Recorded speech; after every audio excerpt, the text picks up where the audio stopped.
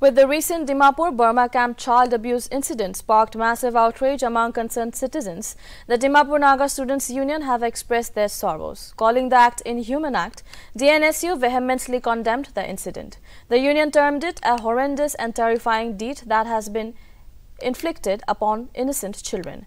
The union appealed the concerned authorities to take action and arrest the absconding accused at the earliest so justice could prevail as soon as possible and further urged the parents to be mindful of entrusting their children to anyone without proper evidence and awareness.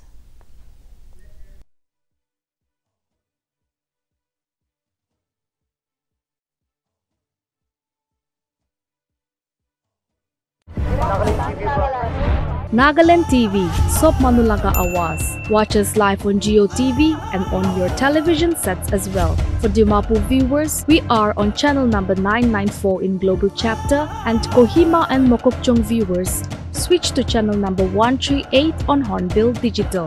For all news and updates, follow us on Facebook, Instagram, YouTube and Twitter.